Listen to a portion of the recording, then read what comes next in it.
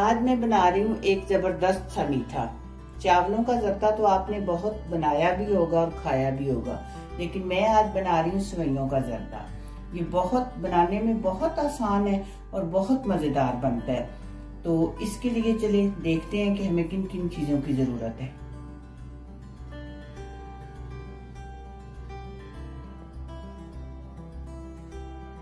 एक प्याला या एक छोटा पैकेट सवैयों का। सोइयाँ बारीक होनी चाहिए। एक प्याला चीनी, एक प्याला दूध, तीन अंडे, एक प्याले से कुछ कम ऑयल दो टेबलस्पून फ्रेश क्रीम या बलाई, एक चुटकी ऑरेंज कलर चद इलायचियाँ ये ब्लेंडर में हम पहले चीनी डालेंगे। फिर दूध डाल लिया। साथ ही हम इलायचियाँ डाल लेंगे। ये चीनी दूध इलायचियों को पहले हम ब्लेंड कर लेंगे।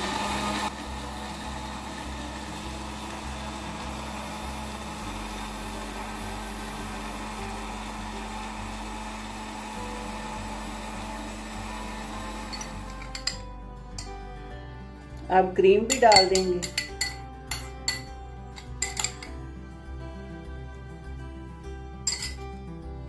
ये कलर डाल देंगे। अंडे डाल लेंगे।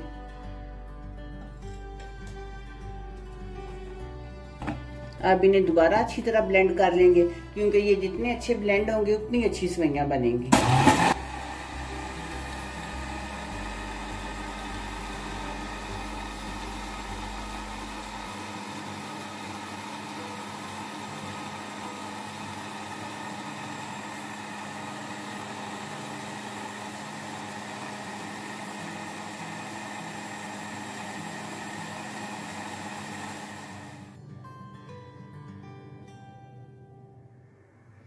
अब पैन में ऑयल डालेंगे।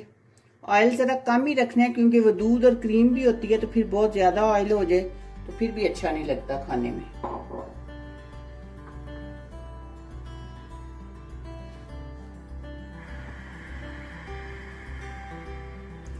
अब सोइया हम ऑयल में डाल के इन्हें हल्का सा भून लेंगे।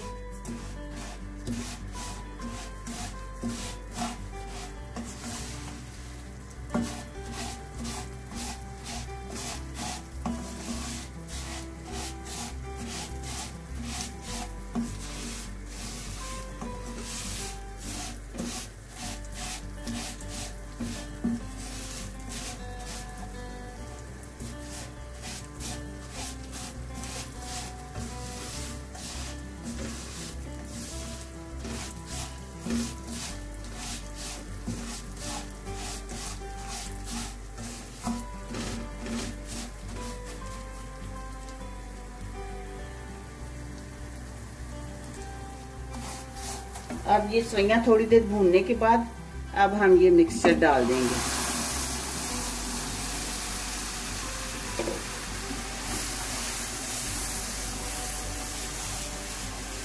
और इस तरह तेज़ी से चम्मच चलाने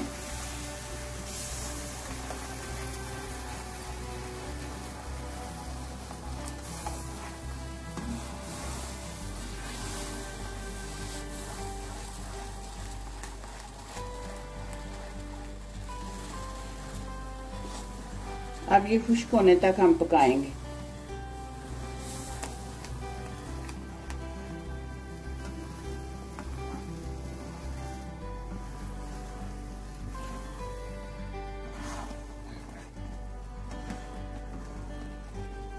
अब हम कुछ देर के लिए ढककर पकाएँगे, लेकिन थोड़ी थोड़ी देर के बाद चम्मच चलाते रहने, क्योंकि इनमें चीनी होने की वजह से नीचे लगने का खदशा होता है।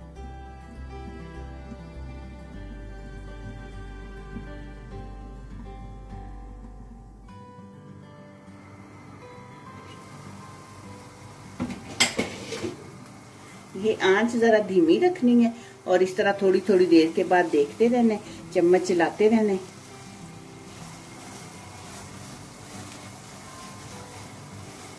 आप देखें, दूध वगैरह बिल्कुल खुश्क हो चुका है। अब मैंने ये दूसरे चूल्हे पे तवा गरम कर लिया है। तो तवा गरम है बिल्कुल, लेकिन आँच मैंने धीमी कर देनी है और तवे के ऊपर रख के फिर इसे मैं तकरीबन आधे घंटे के लिए दम पे छोड़ दूँगी। लेकिन दम के दौरान भी आपने कुछ देर के बाद इसमें चम्मच हिला देनी है।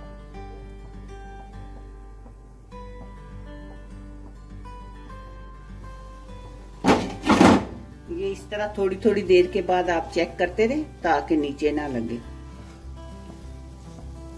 अगर तो नॉन स्टिक पैन हो तो फिर तो नहीं लगता तो दूसरे में ये ज़्यादा लगता है।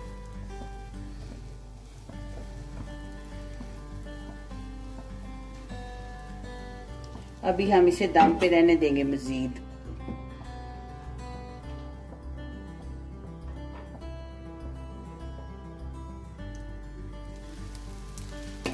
ये तकरीबन आधा घंटा गुजर चुका है। इसे दम पर पड़े हुए और अब ये तैयार हो चुका है सवैयों का जर्दा। बस अब इसे डिश में निकालते हैं।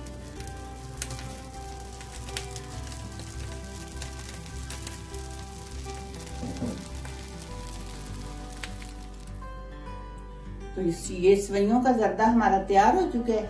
आप भी ये ज़रूर बनाएँ और कमेंट बॉक्स में मुझे बताएँ कि आपको ये कैसा लगा तो दुआओं में याद रखिएगा। मिलते हैं इंशाल्लाह बहुत जल्द एक नई वीडियो में। अल्लाह हाफिज।